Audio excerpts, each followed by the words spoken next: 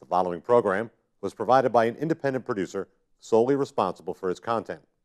The opinions expressed do not necessarily represent the views of this station, its staff, board of directors, or underwriters.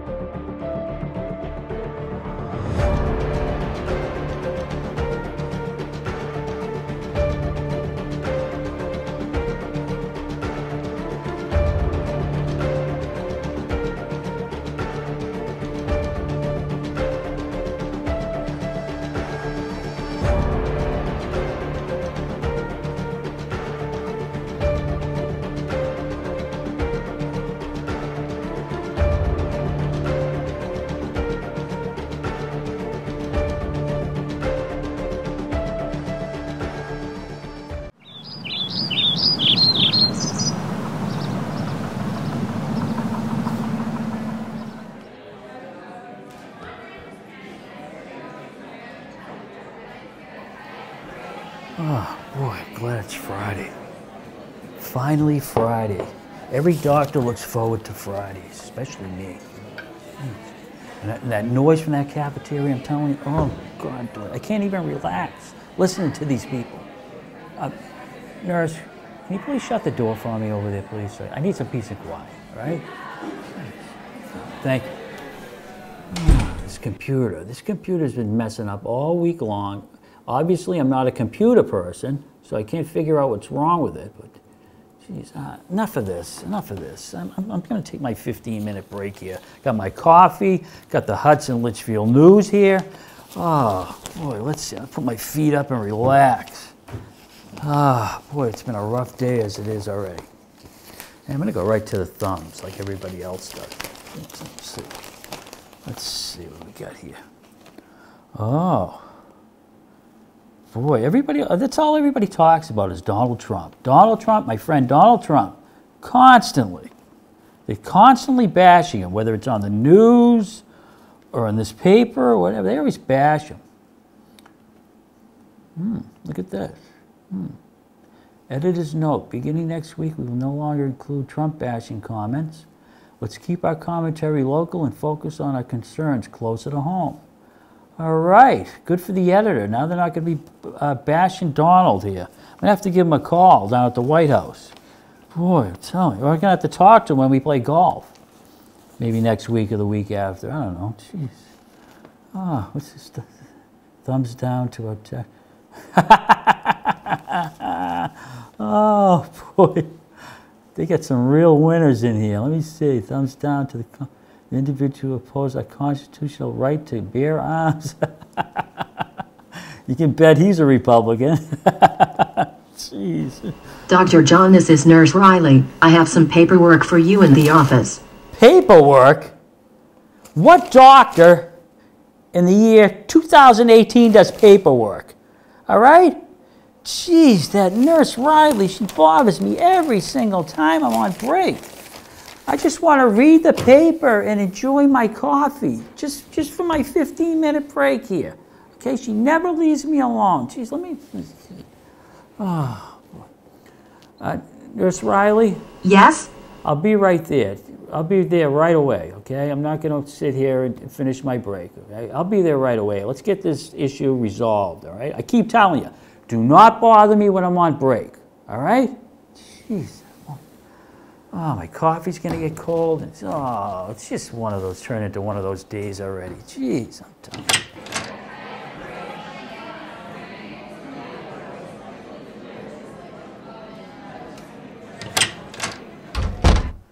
Oh, let's see what that nurse Riley gave me for paperwork now. Number one nurse, Nurse Riley. Oh, she left me a note. Went on break. Wouldn't you know it, right? When I go on break, she keeps bothering me. But she just leaves a note and takes off for her 15 minutes. I guess that's all right with her. Boy, I'll tell you that woman. Let's see what we have here for paperwork that has to be done right now.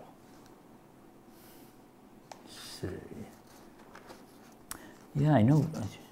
Yeah, I know Mr. Johnson came in, yeah. Uh, uh, I have to sign this for Mr. Johnson. That's it? That's why she bothered me? She had to take me out of my break for this? Just sign one more time here. And I think that's it. And I have a note for you, Nurse Riley. See, I have these two. Yes, I got a nice note for you.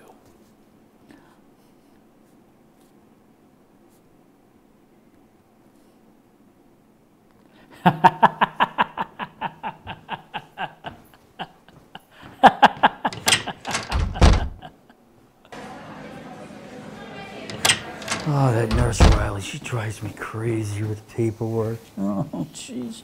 I'm behind now, behind schedule. I just lost my break. Oh, man. Finish my coffee anyway. Oh, boy. Coffee's cold. I know it. I know it. Uh, nurse Riley, Yes? can you possibly uh, make me a, a, a new cup of coffee um, when you get a chance, please? Make the coffee yourself. I hate that nurse Riley. I really do.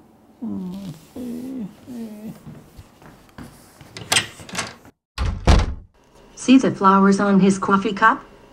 I had one of those in nursing school. Hi, I'm Dr. John. Uh, let's see. You're in here for a muffler replacement, an air filter replacement, and a spark plug replacement. Geez, let me see this muffler over here. Oh, yeah. Got a hole in there. Let me get my flashlight for a minute. Check this out. I can see that well. Check this out. Oh, yeah. It doesn't happen too often, but yeah, it's going to be replaced. Okay, great. All right. Let me see here. Check your chart here. Your owner, um, Mr. Johnson, uh, put your first name down as uh, useless. Useless Johnson. Now, why did he, why did he do that? Why did he do that? Huh?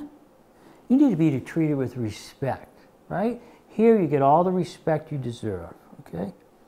But he must care about you a little bit because at least he brought you here to be seen. That's a good thing. A lot of owners, I mean, a lot of the owners, they call their lawnmowers stupid and dumb, okay?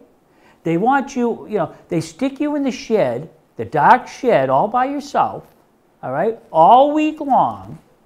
And then on Saturday, they want you to just start right up and start mowing their lawn without any maintenance at all. All right? It's so unfair. Jeez. One thing that I usually love to hear, I love the sound of a mower that's running real smoothly. It just, I just love that sound. oh, sorry, sorry, oh, sorry. Oh, jeez, I'm sorry. Sorry to get involved with that. I just love that sound. Hmm. Jeez.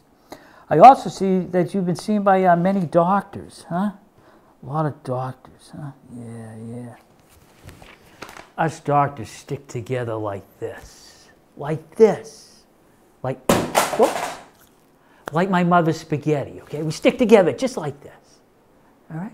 Just like this.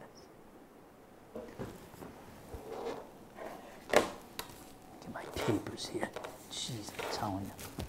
What a mess. Boy.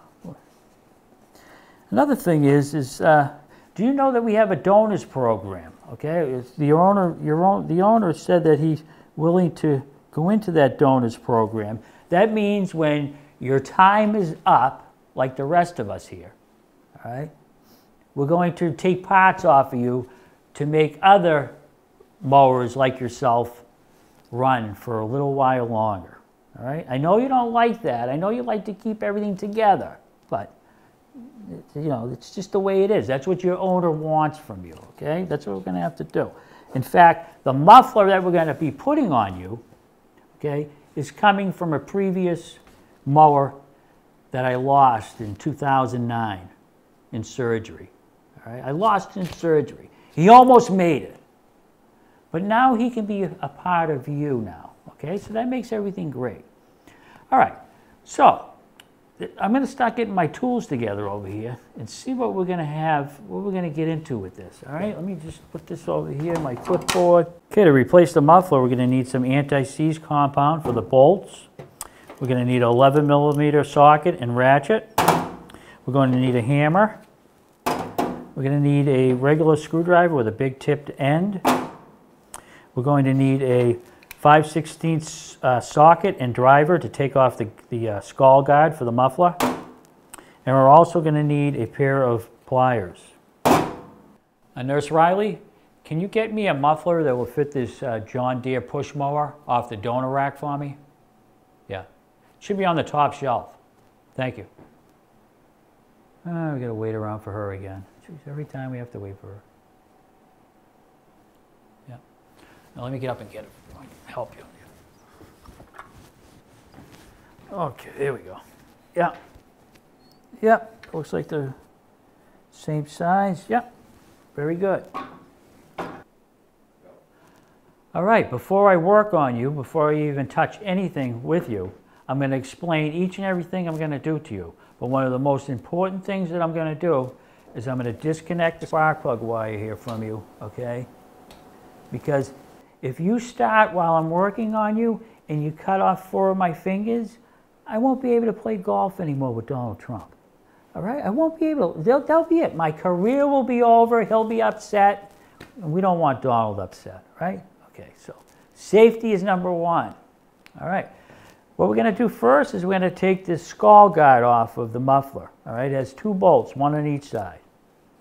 Okay, of the first things we're going to do is we're going to take these bolts off of here. There's one on each side.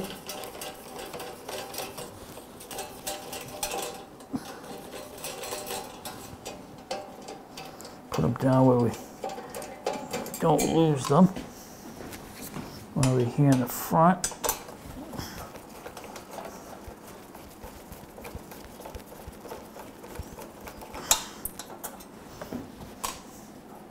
Take that cover off of there.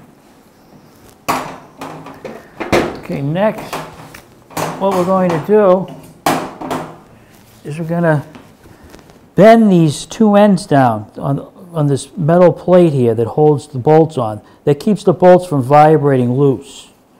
So we're going to get our regular screwdriver, tap it with a hammer till they're flat enough we can get a socket on it. Do the other side. Just like that. Okay, now what we're going to do is we're going to get our 11 millimeter socket, put it on here. We're going to take these bolts off. Okay. Should roll loose. Get that loose.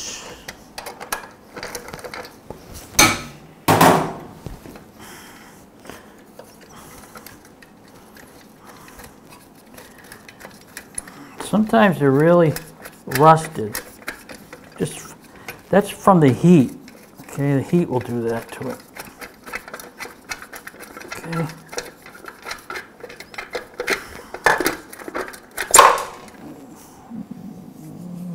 Take that off. Um, Okay. Now we're gonna put a new one back on. Make sure that you put the, have the gasket on the back of here. All right, and we're also gonna put some anti-seize compound on each end of the um, bolt. Just like a little bit, you don't need a lot. Go right on the end there. Now we're gonna install the muffler back onto the engine. Gonna make sure that this area right here is clean. No carbon in there, don't see any. Line up our bolts. Make sure that you don't cross thread it. If you cross thread it, you're gonna be in some serious trouble. Then we're gonna get a 11 millimeter socket and ratchet. Gonna tighten each bolt.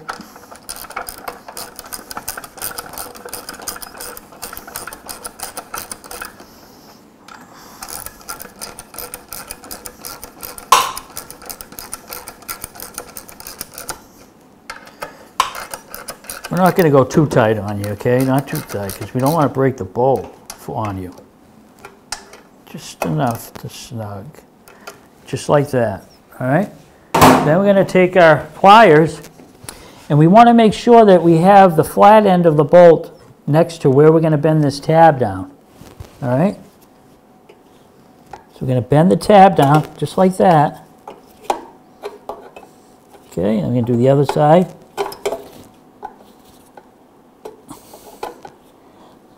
Like I said, that keeps the bolts from turning when the engine's running. Now what we're gonna do is gonna put our guard back on. Line up all of our bolts, holes. Okay, see, I told you I was gonna tell you everything we're gonna do here. All right. Get that in there, get that started. Sometimes they're a booger. Sometimes I'm here forever putting these in there. You know why? Because I'm getting old now. I'm 55 years old. I got 30 years in the business, and I'm getting tired. I'm getting tired. That's what's happening. Then my hand starts shaking. And boy, I'll tell you.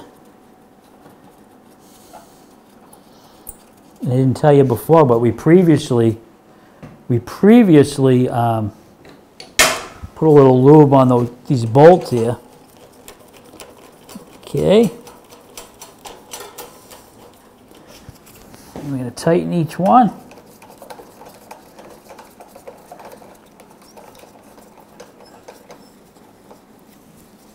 Okay, we'll tighten this up. And you are good to go with that muffler. Now we got to move on to the uh, air filter. Okay, let's check your breathing here. You said you needed a new air filter. Oh. Let's take a look. See what's going on here. You're really labored breathing. Boy. Wow. Hey, you know something? When you see your own, in fact, I'm going to tell your own. Let me take these off so I can hear myself talk. I'm going to tell your owner when, I, when we go out to the appointment room out there in the office. I'm going to tell him to hold his nose like this, okay? Hold your nose like this, like this, all right? That's how you feel, okay? When owners like this refuse to change your air filter and allow you to breathe, okay? I'm sure you'd like to breathe just like everybody else, right? You don't need to pinch your nose like this, all right? Oh, you poor mower. Now what we're gonna do is we're gonna take this cover off and we're gonna really look inside and see what's going on in there, right? Okay. Okay, let's take this cover off here. 5 16 socket. See, I keep telling you, letting you know. This bolt won't fall out of there. They make it so it stays in there. Now let's see why your breathing is really labored going on here. Let's take a look. Oh boy. See, I see this all the time. Look at all the dirt in there. Look at all the dirt inside there. He hasn't changed you for years, all right? Let me show you. Let me show you the difference between a new one and an old one. Look at that. You haven't been breathing good for a long time.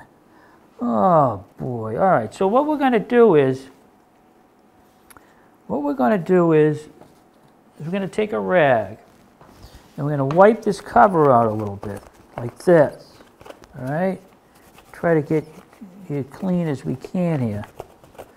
All right? Even blow in it if you have to, all right? Then we're going to make sure that this area in here is clean as well. All right? Not any dirt or anything in there. See a little dirt you got in there? We don't want to put a clean filter in a dirty air box. There we go. Okay. Clean that right up. Now we're going to get you a new air filter and see, see, it shows you the arrows on which way it's supposed to go in there, okay? The pleats supposed to be facing up, okay? Just like that, all right? And then we can put this right inside the hinges here. We can turn this, get it started, put our 5 16 bolt on there, just a little past snug, right? Just a little past snug, just like that. There you go. And now you can breathe just like the rest of us again. Now what we're going to do is we're going to change your spark plug. That's what we're going to do next. All right, now we're going to replace the spark plug. We're going to do that, see? We're going to do that with a spark plug socket and a ratchet. Take this out. Okay? Unscrew it here. Now this will definitely determine how you've been running. Oh, look at that. You've been running too rich. See? You know what causes that? That air cleaner that that owner forgot to change for the last two years, all right? That's what causes that, all right? So what we're going to do is we're going to get you a nice new spark plug. All right, look at that beautiful looking thing. Look at that. When you get a new spark plug, you want to make sure that you have it gapped correctly, okay? And this should be 030. 030. And tell your owner that you can get one of these spark plug gapping tools. You can get it at an automotive parts store if you want. And what you do is you find what size you need gapped and you put that in there, okay? And that's just about right, okay? Usually most of the spark plugs are gapped correctly to begin with. But when you're purchasing a spark plug and you take it out of the package, make sure that you check. I'm not saying that you should go to the store. Tell your owner to go to the store. When your owner goes to the store, tell them you need to check your spark plug. Make sure that the porcelain isn't broken in here. And your center electrode, the porcelain isn't broken as well. Now I'm going to screw you this back in here. Do it by hand so you don't strip it. We're going to get our ratchet. We're going to tighten it just a little past snug. Perfect. All right. Now that I'm clear away from this lawnmower now, I'm going to put the spark plug wire back on the spark plug. Okay. And um, we're just about done with you. I'm going to get my clipboard. Okay, everything's been done. The muffler's been put on, the air cleaner, and the spark plug. And according to your record, your chart here, the owner said that he recently just changed your oil. All right, so that's good. So I'll see you here in six months, okay? Six months, we're gonna check you out again and make sure everything's running correctly. All right?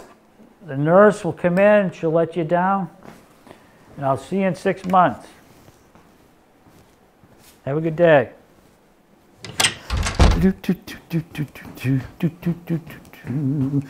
Ah, yes. Looking forward to the weekend. Yes.